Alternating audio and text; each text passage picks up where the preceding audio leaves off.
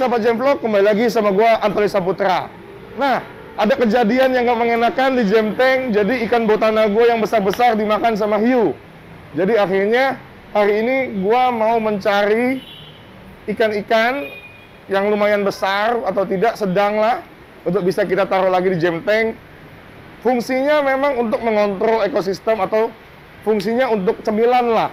Jadi ada cemilan di tank itu memang kan tipikal dia iseng kan kalau hiu. Jadi kalau memang ditaruh dimakan ya sudah. Yang penting si ketika dia makan tidak menimbulkan amoniak yang berlebihan, parameter air tidak rusak. Selama dia buat makan sih ya buat uh, pertumbuhan dia sih nggak masalah. Jadi hari ini gue sudah di Jafarif, gue mau hunting ikan-ikan import yang bisa gue taruh di jam. Oke? Ikutin terus.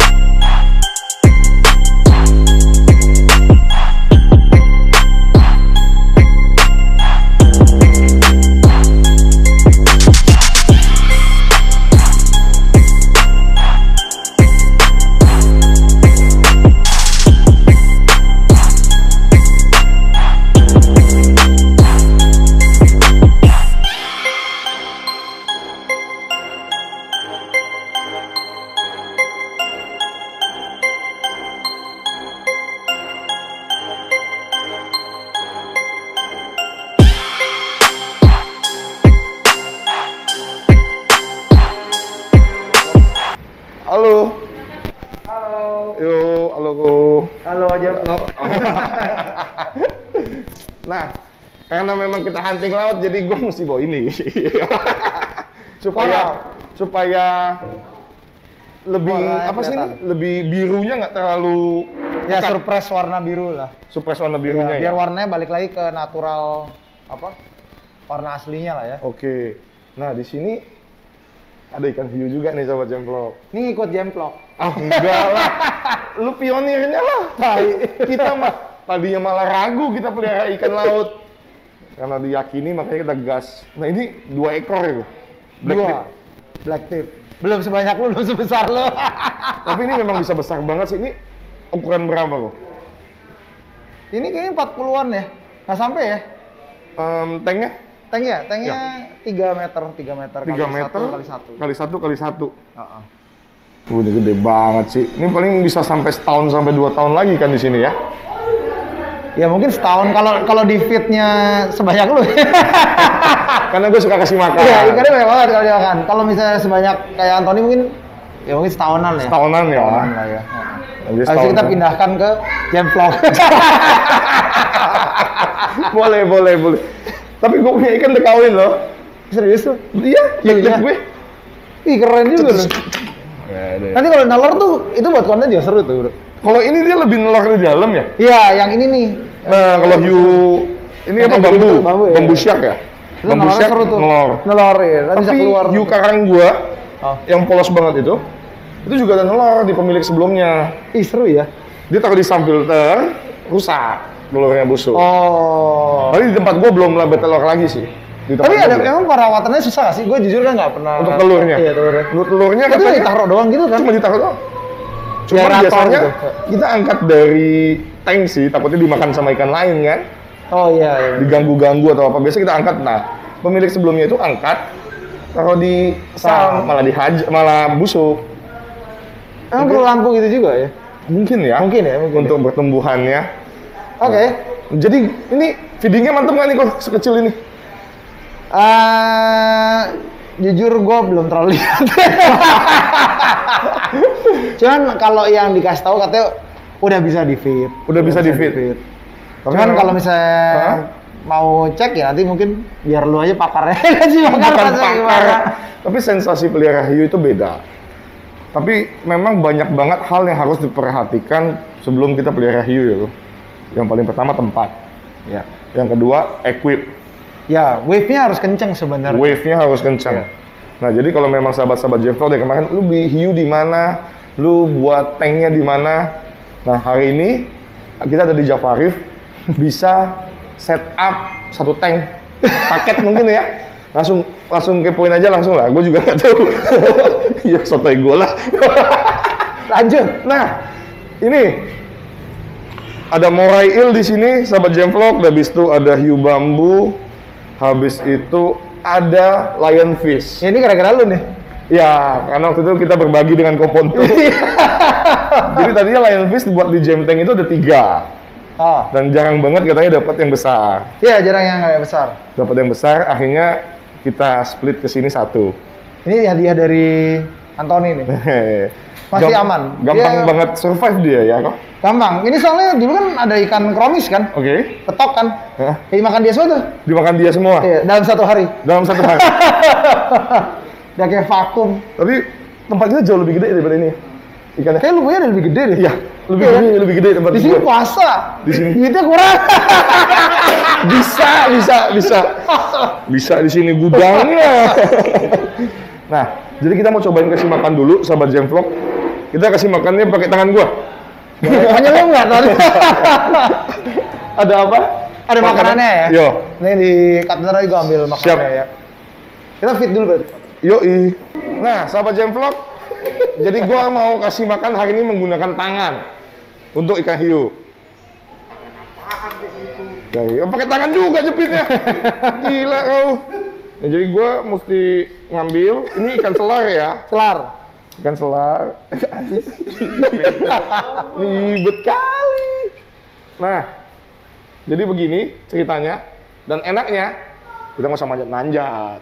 Tinggal kasih, sahabat jemplok. Kita tungguin dulu sampai dia patroli setidaknya. Karena kan kalau dia udah punya insting mau makan tuh biasanya dia akan berenang jauh lebih cepat daripada biasanya. Untuk mempelajari medan dulu biasanya. Setelah 2-3 kali patroli, sudah oke, dianggap aman, disantok bijinya. nah, begitu sahabat Jamvlog. Jadi memang dia harus patroli dulu untuk ikan hiu kalau memang mau makan. Dia nggak mau mau makan. Jadi kalau misalkan black tip menyerang manusia jarang karena biasanya dia patroli aja kita udah kabur. Boro-boro diserang. Biasanya kalau misalkan dia sangat terpaksa pun menggigit manusia, karena memang nggak sengaja keinjak. Ya kalau kucing keinjak aja bisa cakar, bro. Ini hiu loh. Top of predator, ya nggak? Tahu hucin ya. Nah, entar dia belum patroli nih, masih slow dia. Entar dia masih melambai-lambai, belum.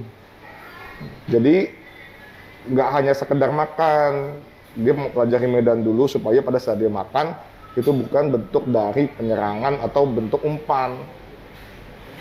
Gitu, sahabat jemplok. Ini sotoy-sotoy gua sih, gua. Enggak, nggak apa-apa. Gue juga nggak tahu soalnya. Ya karena kan ini, ini hasil gua pelihara selama Iya. ini. Karena setiap kali mau dikasih makan ini perlu kenceng dulu, pengenangan. Muter-muter dulu ya. Dia muter-muter dulu, dia pelajarin, nanti dia udah udah keliling-kelilingin. Nah, Dia, dia salah tuh. nggak dia mulai mempelajari dulu. Nah, nah kalau kayak begitu biasanya tangan kita yang kena. Aduh. Maklum, ini masih baby ya, masih butuh tuntunan. Wih, pakai tangan nih, tuh, gue pakai tangan tuh. Yang atas, gue punya jari telunjuk, yang bawah jempol gua tuh. Anggapnya aja gitu. nah, ini kita lanjut lagi. Enak ya pelihara ini? Oke, di rumah gua gua jarang kasih makan, Dra. Di sini gue yang umpanin. Iya kan? Oke, nah sekarang kita masukkan lagi. Uh, kerapu datang. Kue kerapu. Sini. Oh, takut. Halo. Nah, kalau misalkan hiu malah kita samperin untuk dia kasih kita kasih dia makan malah dia menghindar. Kabur ya. Dia kabur. Karena dia beranggapan nggak mungkin seenak itu cara makan. Wuhu. Wah ini sih beringas ini. Karena kalau nah hiu yang makannya digodekin begitu, tandanya dia udah mau mulai kenyang. Dia mau mau ambil dikit aja makanannya. Oh gitu ya? Iya. Nyemil ya? Ngemil doang. Tapi itu Iya, iya, sotonya iya. gua doang. Iya, iya, iya, iya. Tapi memang, baru tahu ada namanya nyemil juga ya ikan ya. Ya boleh tapi memang di rumah gua begitu. Kalau memang dia sudah Eh coba Eh, Moray makan. masak gigit-gigitin makan nggak? Makan, Oh, pasti makan makan. Moray pasti makan. Baru kali ini gue kasih Morail makan, gue umpetin dulu sebentar biar nggak kelat. Baru kali ini gue kasih Morail makan pakai tangan. Iya dong. Iya iya iya. iya. Ini tangan. Kalau itu sih gigit beneran ton biasanya ton. Oh itu kenceng gigitnya. Pak. Giginya lurus. Giginya agak lumayan. Nah karena memang dia gigitannya kenceng, kita kasih kepala agak keras, harusnya juga tetap mau sih kok. Oke, Oh, kalau hiu itu berarti badan gitu ceritanya ya. Em, mungkin masih baby. Tuh, tuh, tuh kita pancing keluar dikit, pelan-pelan naik, pelan-pelan naik, pelan-pelan naik, pelan-pelan naik. Buk, disantok sama hiu. di rumah gua begitu. Jadi malu dia, malu. Di rumah gua gitu, dia udah keluar-keluar, dis- eh jatuh copot. Apa biar makan dia? Makan nggak deh? Oh, didatengin sama hiu bambu. Oh takut ya ya. Takut-takut dia. Oh kalau sama hiu takut ya. Tapi kalau memang dia saking laparnya, biasanya tetap puas. Tetap diajar ya. Iya. Itu hiu yang ini nggak mau goyang ya? Hiu yang mana? Eh, bambu. Hiu bambu nggak mau goyang gimana? Susah kan. Dia Bisa, datang. Datang, datang. Oh, datang dia datang. dia. Terus digigit. Nih kita lagi melihat pertarungan antara Moriil dengan hiu bambu dan dipisahkan Ada- sama Pani iklannya. Toto. Iklan iklan. Dipisahin sama hiu Toto. Gak apa-apa. Jadi itu nanti buat cemilannya si hiu bambu nanti kalau belum dimakan juga, aduh. Jadi kalau belum dimakan juga kita mesti ambil Biar nggak kotor ya. Karena parameter. amonia nanti. Ya, parameternya nanti bisa rusak. Karena memang kan banyak yang ngomong ya, ya kok ya. Ini praktisi. Kalau gua kan cuman sepoi-sepoian doang. Katanya kalau misalkan makanan sisa atau ikan mati nggak diangkat bisa merusak parameter air ya kok. Iya pasti dong. Ih. Ih, disuapin nih. Ini masih kekecilan dia masih malu-malu, masih gigi susu, belum pede gigitnya.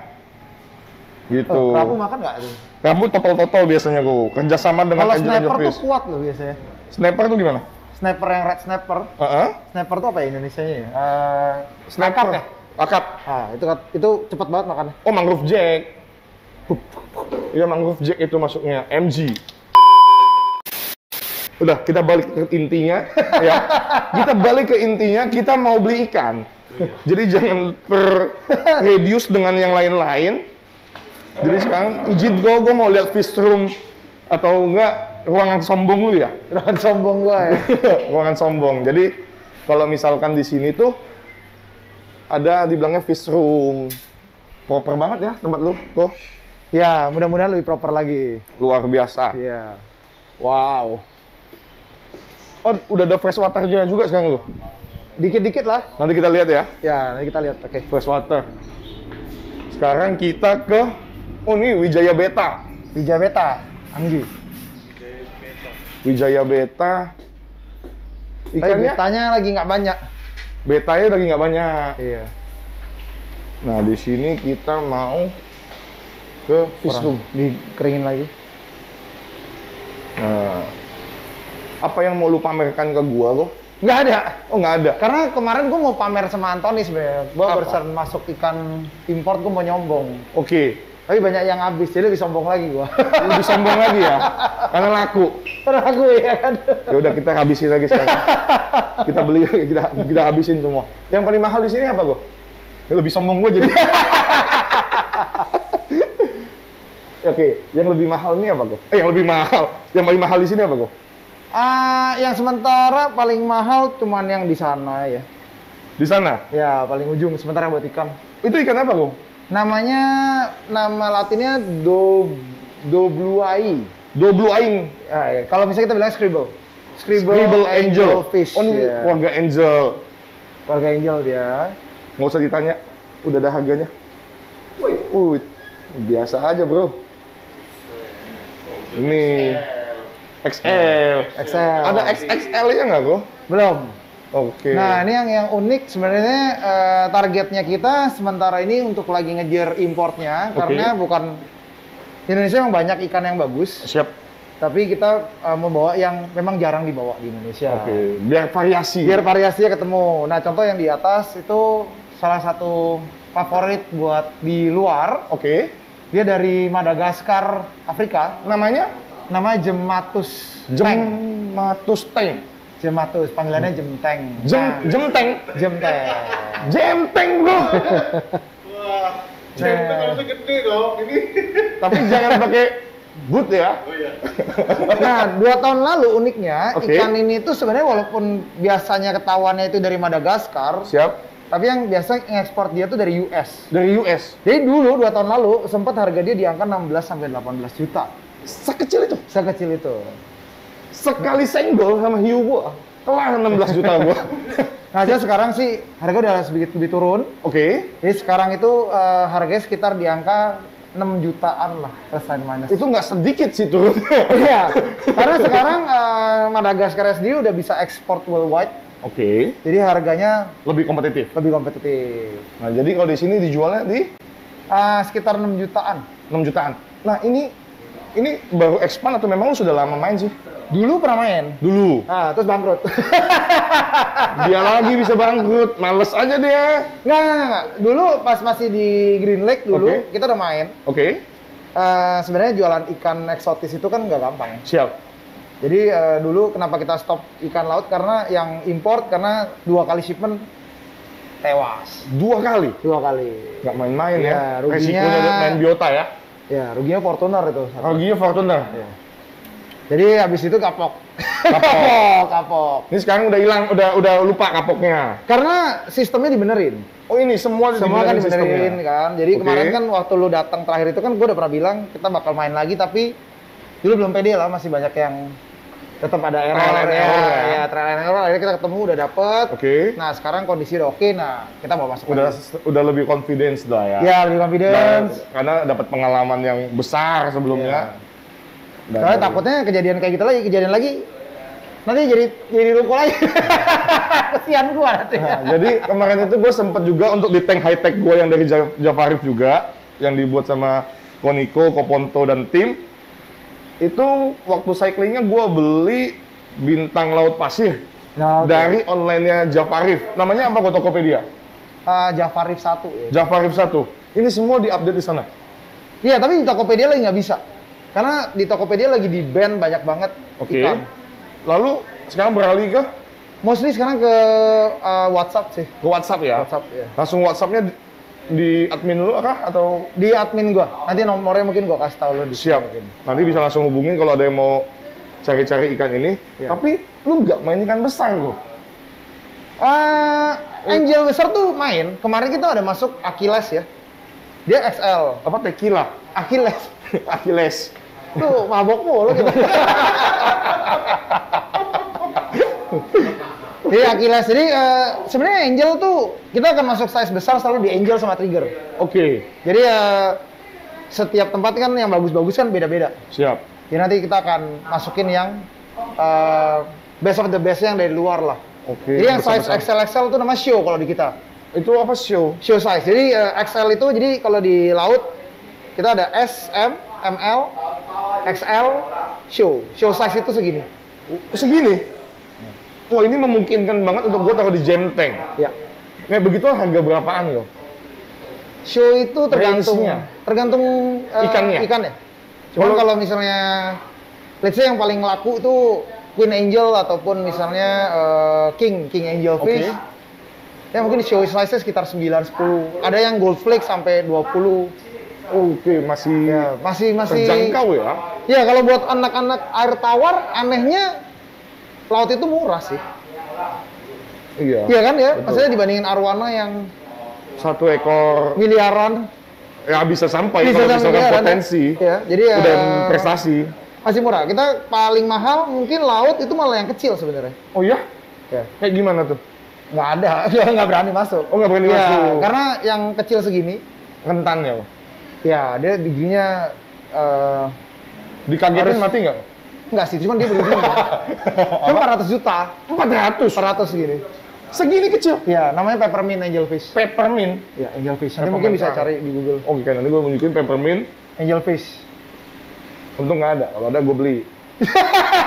Sayangnya Koniko nggak ada. Gua bawa ya. Panik. Panik. Panik. Gua mau boleh nih. Masuk ke Kan karena karena nggak ada boleh gaya dong.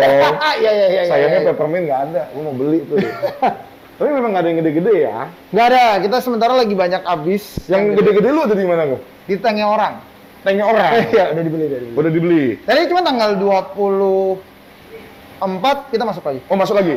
Masuk lagi. Tapi kita- 24 datang aja nanti kita ada beberapa yang cukup oke, ada yang king. Kita pepet terus ya. Iya, terus. Kita pepet terus. Jadi sekarang kita mau lihat ini. Ini tank bulat itu tadi ada yang gede-gede. Tadi gue lihat ada naso-naso segala macam itu. Itu dijual juga. Ya, buat lu boleh lah. Nggak buat orang lain, tapi hanya khusus jam clock. Oh serius? Serius dong? Oh nggak dijual buat orang? Enggak dong. Oh ide satu kehormatan. Tapi kita mau lihat fresh waternya dulu ya. Siap. Penasaran gue dengan fresh waternya Japarit. Wow. Jadi lengkap banget ya. Ini apa gurame ya? Ini Red Devil keluarganya Red Devil keluarganya Nila. Secret berarti. Secret. Secret ya? Secret. Ya. Ini Nggak tahu gua. invasif. Ini nila ya, Nila. invasif ya. Iya. Gampang beranak berarti. Gampang beranak. Secret juga invasif. Iya, iya. African Secret. Sebenarnya memang banyak banget sih yang ya invasif ya. Nila Mujair juga. invasif. Mujair invasif. Iya. iya bener. Oh jadi banyak banget ada koki-kokian. Ya, tapi ini koki, koki lokal ya.